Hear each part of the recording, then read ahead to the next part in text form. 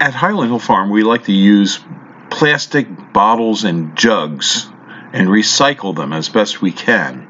And we use hundreds and hundreds of them. And I go to Manhattan Bagel every morning and buy a, a soda and I get a straw in it. And I keep wondering, what's the best way to you recycle the straw? I can recycle the cup easily, but how about that straw? Well, I finally came up with an idea of how to reuse the straw.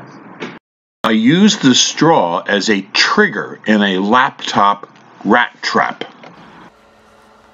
This is an old laptop that I'm going to be putting to use as a mouse killer.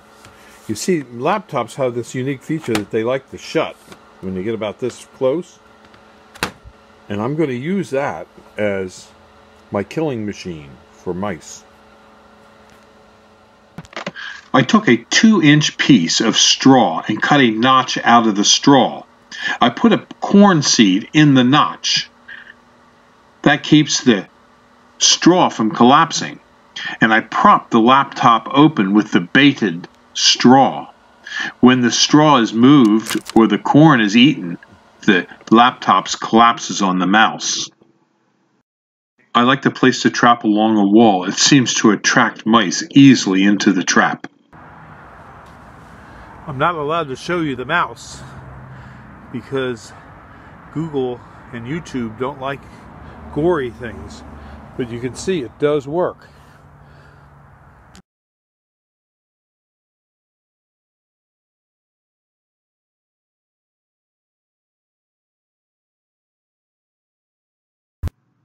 This video was produced at Highland Hill Farm.